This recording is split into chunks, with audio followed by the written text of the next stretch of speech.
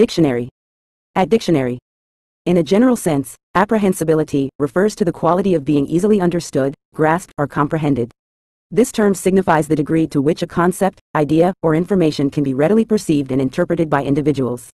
Apprehensibility emphasizes clarity and accessibility, suggesting that the subject in question is presented in a way that minimizes confusion or ambiguity, making it accessible to a wide audience. Whether applied to communication, educational materials, or any form of information dissemination, the concept of apprehensibility underscores the importance of presenting content in a manner that is clear, coherent, and easily apprehended by the intended audience.